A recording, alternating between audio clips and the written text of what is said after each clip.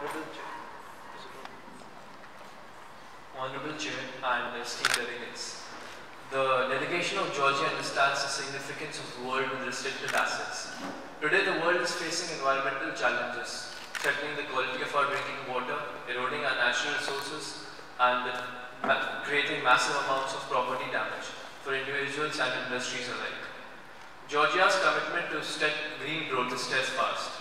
Because of Georgia's unique geographical location and varied climate, Georgia is very vulnerable to climate change.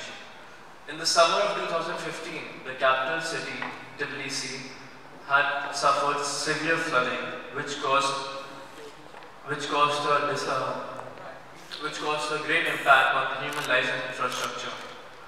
This has proved to be an additional driver for Georgia to tackle the problem of climate change and promote sustainable development. The government of Georgia does so by investing in low, uh, in low carbon technologies throughout Georgia, which will reduce the uh, vulnerability of highly exposed communities. But Georgia needs international support. Access to finance that would allow Georgia to invest in newer technologies to limit the greenhouse gas emissions.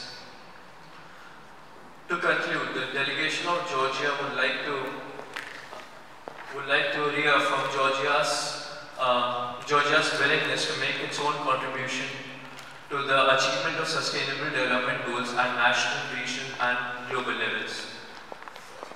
To create a sustainable future and safeguard the planet for future generations, necessary steps must be taken and immediately. Thank you for your attention.